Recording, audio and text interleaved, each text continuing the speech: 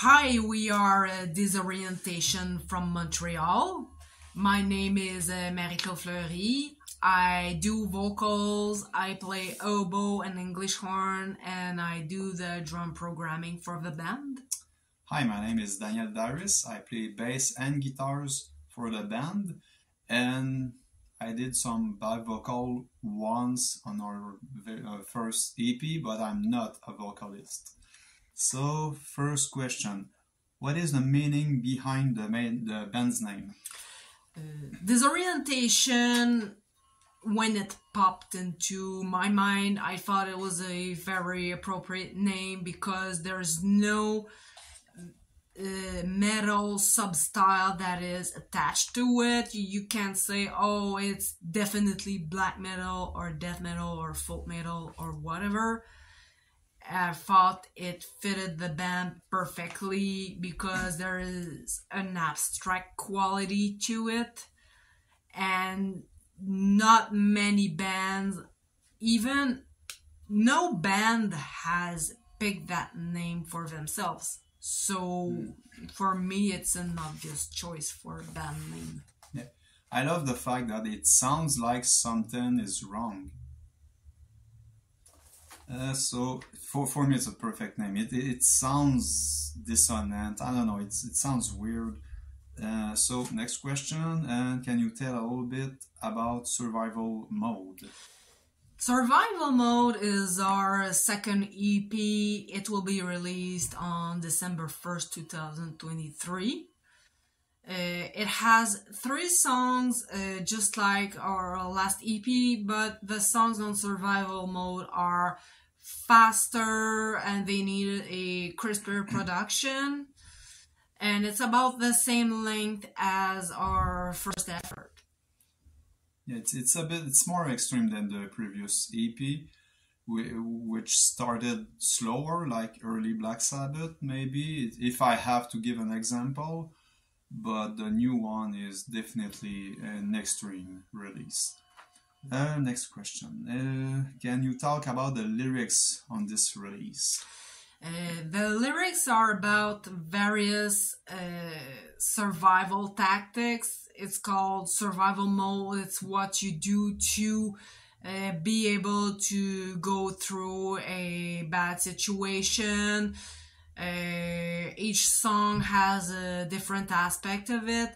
Like the first song is called Dissociation. It's about uh, detaching yourself from uh, certain circumstances and like not being present in a situation that you don't like. The second song, uh, Jaded, is about uh, forcing yourself to uh, eliminate all emotions that you can feel, like uh, deadening yourself, becoming insensitive. And the third song, Dark Side, is about uh, it's about questioning uh, the motivations behind the people who want to help you, who see that uh, whether you're dissociating or uh, deadening yourself, who say, Oh, uh, why do you do this? It's not right. We want to help you, but why do they want to help you? It's the question that you ask yourself. And those three songs are three different tactics of survival. Uh, the next question is about the lyrics. You already uh, told everything, so this one is done. Uh, can you tell us a little bit about the EP cover art? Oh, the EP cover art is uh, very uh, metaphorical. I have depicted self harm because it's it's something that you do to cope with the bad situation. I have done a hand drawing of it, and it's a, a we can see it here. and uh, just like the first ep i've done the drawing by hand uh, because i like uh, the organic feel of pen and paper uh, and when I did the drawing, I scanned it and I did a little bit of uh, color tweaking on the computer to optimize uh, the the image for computer viewing. Read the next one, please. Because Oh, um, okay. Uh, you recall your very first show that you did in a fast food restaurant. yeah, in the early 2000 with a band called Dying Down. Yeah, that's, I don't know what to say. Like we had the opportunity to play in a fast food restaurant. I think it's called uh, Gorky, something like that. I don't even remember when it, where it is. It's at Montreal, but it was raining and nobody showed up. Almost nobody. You were there. Yeah, I was there. you were there. My parents were there. The band members were there. Uh, the cook was there. uh, yeah, we had to build a little stage, uh, and eh, my God, it was terrible. But at least uh, my very my my real first gig our uh, I mean the, the same band we had a very uh, a real gig after that and it well it went very well because of that previous shitty one so yeah Learning experiences. yeah uh, so next next question da, da, da, da, da. what do you do to support yourself financially Oh, I'm a coordinator in an office. I work full time and I also do a lot of music. I'm also a member of the Growlers Choir. So, um, when I'm not doing music or when I'm not working, well, I'm sleeping or doing the grocery. Uh, I don't have an official job, let's say, but I, I do uh, record bass for other artists. I'm a session, uh, part-time session, I will say. And but for the for the way we we do what we do musically, we we find ways like very cheaper ways to achieve uh, what what we've done so far. So if you listen carefully to our music, you can tell it's not a big production, and it's it's by choice, not just for financial uh, reasons. And we like to sound uh, DIY. We we like to sound like nobody else. At least we try to. So uh, next one. What did you first discover your interest in metal music? When I was a teenager, I guess most people discover their interest in metal when they're in their teens.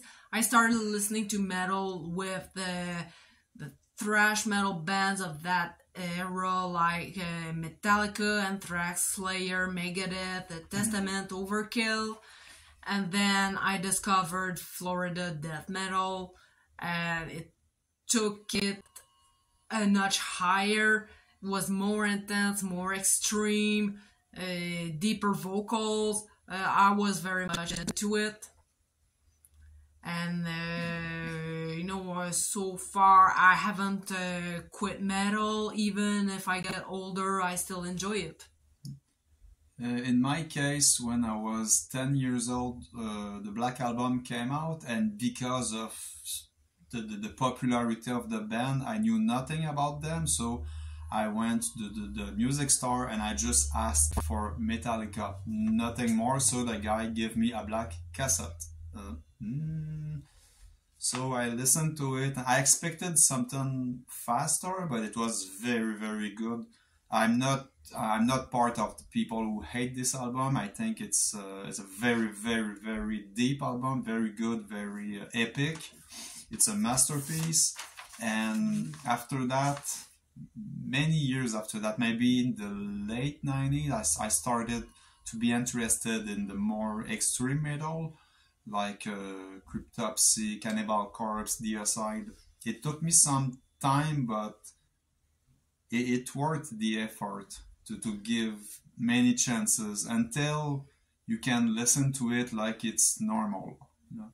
So the, the, the boundaries or the, the barrier are very far away, like behind you, and you have almost no limit when it comes to uh, listen to music, but mostly to create, because you don't realize how people will feel about what you play. For for us, it's just normal because it comes from us.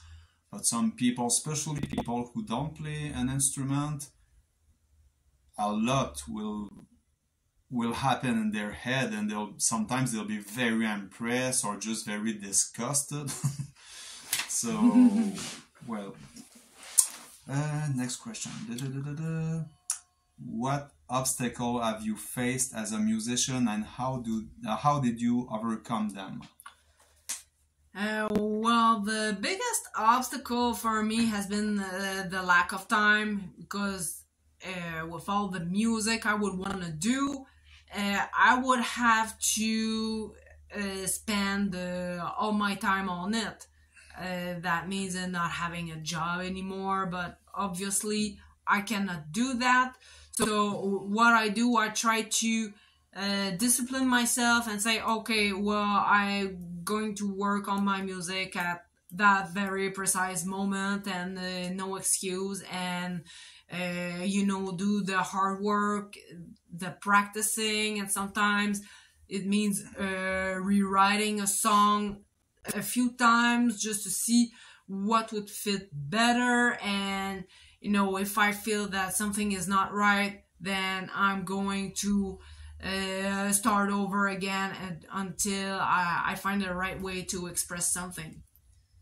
In my case the obstacle war not anymore but it was money for so many years for decades.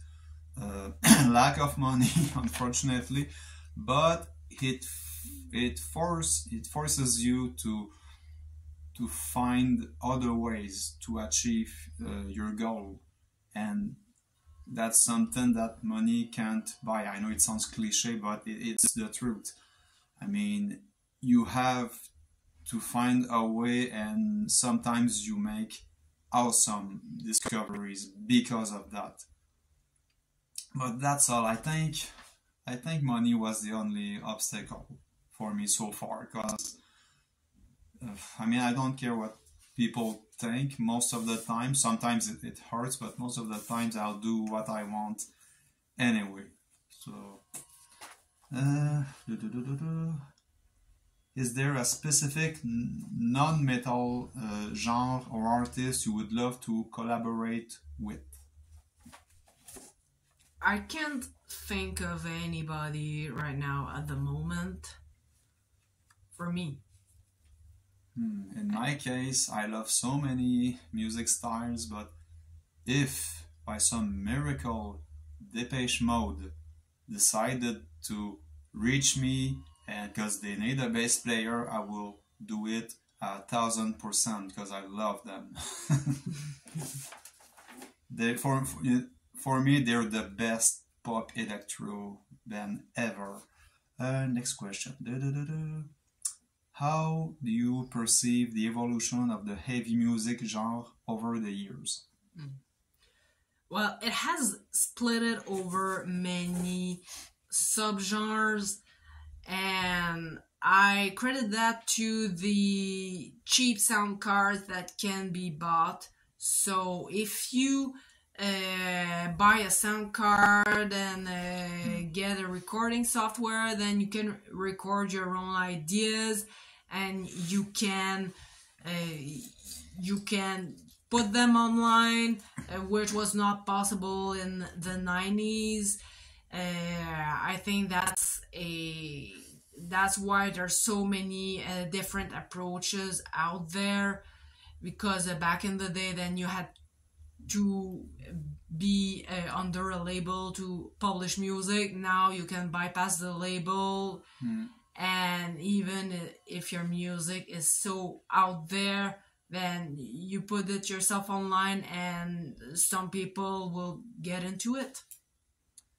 Um, about the evo- evolution of metal now, since many years, the the production, the sound in general is how can I say that? It it became so perfect. Sometimes I believe it works, like Meshuggah, Fear Factory, bands that need to sound perfect, and it's awesome. But when, in, in my opinion, when too many bands sound too perfect, it sounds sometimes like it's not human being who are playing. Sometimes you you see a recording session you see the drummer play and it sounds like a machine. For me it's just weird because the the how can i say that? The, i feel like the recording process now is almost the same every time for most of the bands and that's something i love about us.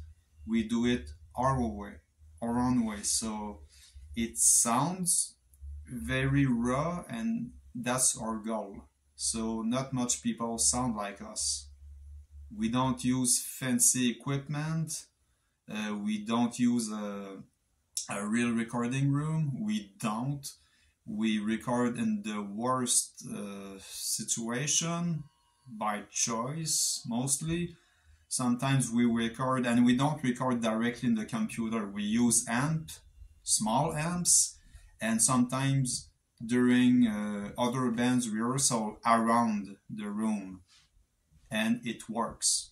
So when you don't have much money just try.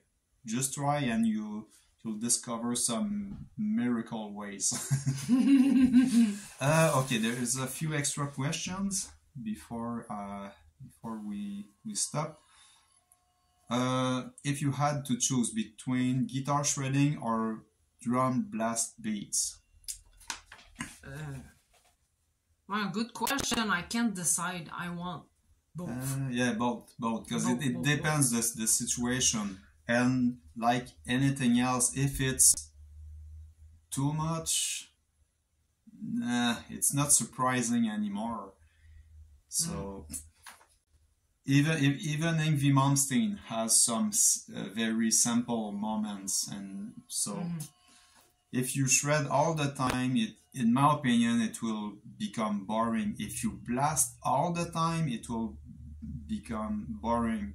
If you listen to um, uh, Despise Icon, for example, the drummer uh, uh, Alex Pelletier, he's amazing. That guy is able to blast all the time, but he decide not to. He puts a lot of groove, so when the blast beat appears, it's so fun. So it's uh, different. So, uh, next question: vinyl or a CD? Well, uh, for me, it's CD.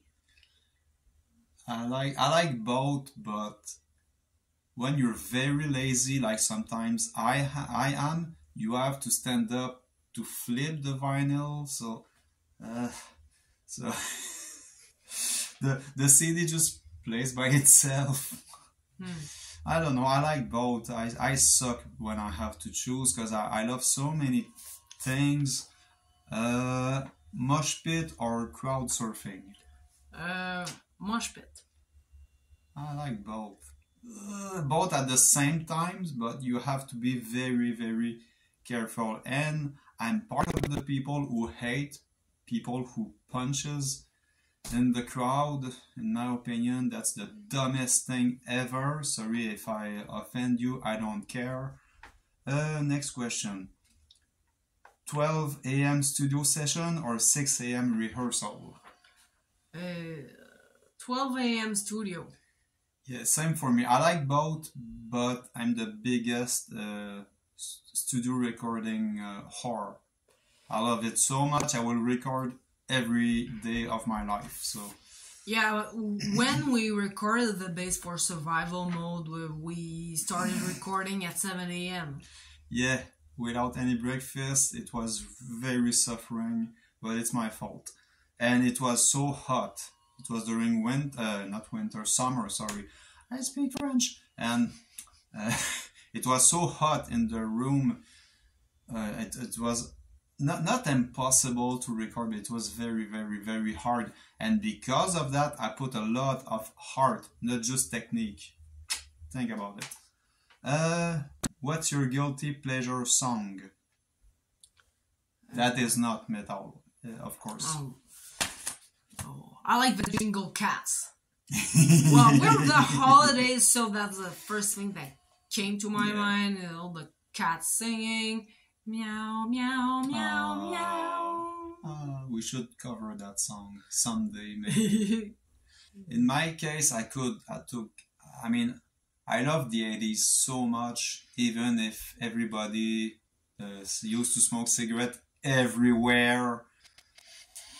Uh, but I know I have to pick only one song, I guess. So, Never Let Me Down from Depeche Mode. That song is the best example that perfection does exist in the good way. So,